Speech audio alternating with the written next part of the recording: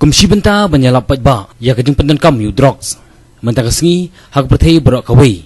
Laraki ya kani kesengi banyak kon persya ya kajing keni haki kam di bat kai drugs. Hanu ba shlong ru laraki ya kani ke international day against drugs abuse and illicit trafficking ar dak ba pelong ya kajing aji kai ha ususu tham auditorium shlong. Kapang jong kajing rakhi mata usnam kalong ban sengap shwa kabamut ban sengap ya kikna bat kisamla kadi kesin jam beningkong kebala banyarap iki pensan bar ke jingkot jingkia kumju ke jingsingan ya kini ke rakhi la pelong da ka office jang ka district social welfare officer east kasils ringkat ke jingin trelang ke meghala its control society shillong.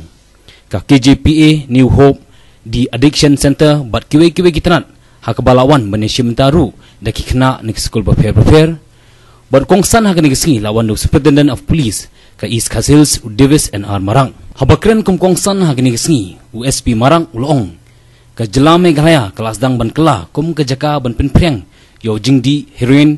Bat ke nongba shilong kum ke jaka pedeng ha kini ke kam. Ulong ki badan kti hakum kini ki kam. Bonsin ki dei ki badan kti ha ki kam le no. Bat ki weipat ki kam runar. Da ka bai shu shu ban penroy yo drugs ban le ru ye ki kam bi an ha kim lang. Salang USP lo ang ru ba ke jingkiu ki kam runar. Ka dei na ke jing pendan kam yo drugs kham tam ha pedeng ki samla USP ula pun pauru ya ke jingsong kia baki babun hi. Ki samla ki badi drugs ki dei bawan na kilong yang baduna kayo kakot. Bat ki bayi kendu jing e na ke jing pat kilong yang longsem. Ula ban joru badai ban sengap ya ke jing e jang kum kini ki briu da ka baai ke jing e trelang bat ki pelit kenang man pendu jaj sendan yu drugs I would also like to say that drug abuse is not only a health problem, a social problem, but it is also a crime.